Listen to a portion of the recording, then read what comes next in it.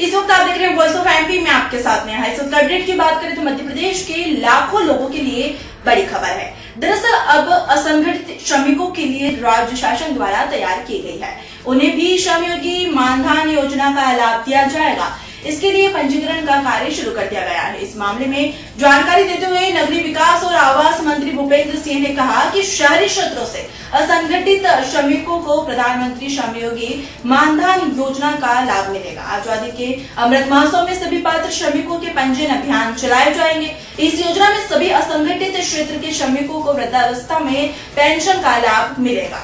वही मामले में नगर विकास आवास के प्रमुख सचिव मनीष सिंह द्वारा सभी नागरिक निगम नगर पालिका और नगर परिषद को इस संबंध में कार्रवाई के आदेश जारी किए गए हैं। बता दें कि प्रधानमंत्री श्रम योगी मानधन योजना का लाभ छोटे छोटे कामकाजी वर्ग के लोगों को दिया जाएगा, जिससे छोटे व्यवसाय करने वाले, घरेलू कामकाजी, रिक्शा चालक सहित निर्माण श्रमिक भरगंदा श्रमिक दैनिक वेतन, भोगी सफ़ाई कर्मचारी सहित आउटसोर्स संस्था के नियोजित कर्मचारियों के श्रमिकों को दिया जाएगा।